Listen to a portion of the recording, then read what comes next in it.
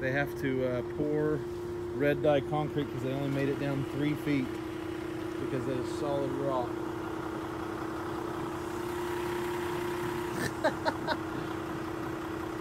wow.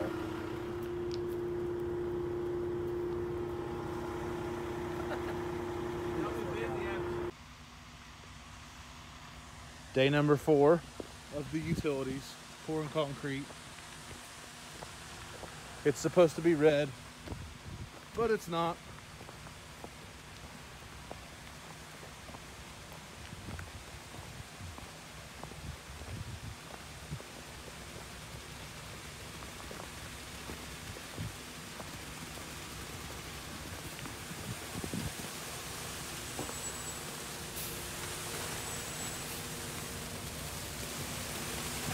If you don't mind, I might leave it open tonight, so I'll let this stuff harden.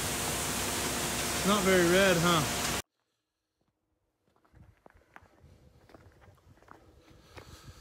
All right, so it is day five of the underground, and looks like we are done.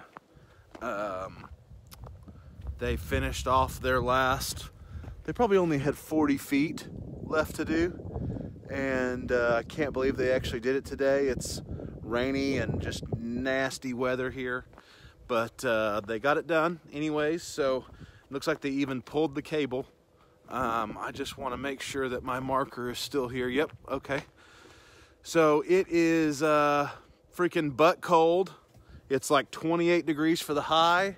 It's raining, and uh, they came out here and worked anyways. I'm pretty impressed. So. I'll show you real quick the final product down here at our property line and then I'll take you up to I don't think we've seen the transformer really set or the uh, the junction box set yet. So I'm gonna show you both of those things and uh, then we will be done with our uh, underground utilities series.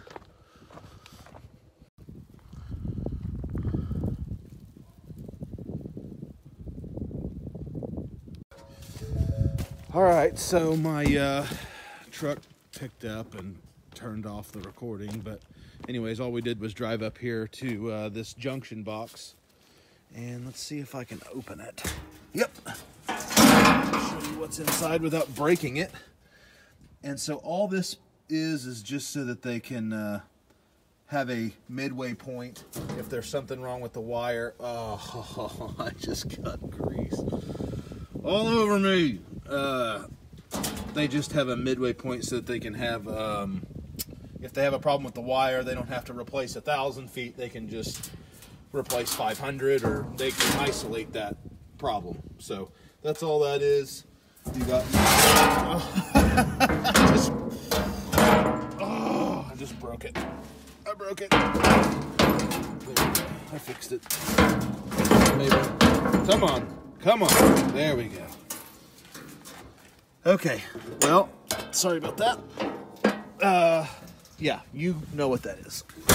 For. All right, let's go up to the uh, transformer.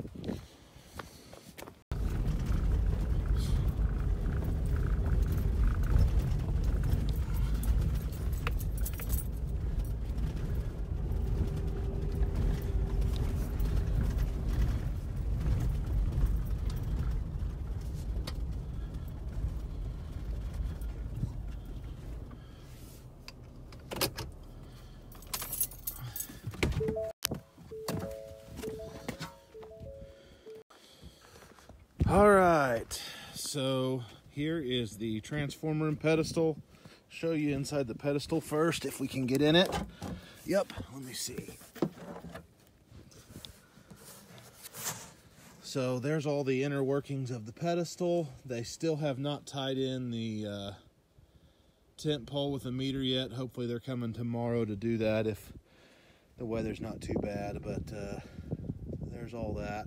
That's feeding from this transformer right here feeding to the pedestal from the pedestal to the uh, meter. So I've actually never looked in one of these before, so this will be interesting. There we go. Oh, that's heavy. Oh, wow.